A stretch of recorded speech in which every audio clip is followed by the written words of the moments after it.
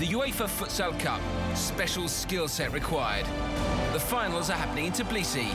Four teams made it through and they're not here just for kicks. They each believe they've got a shot, especially the mighty Barcelona.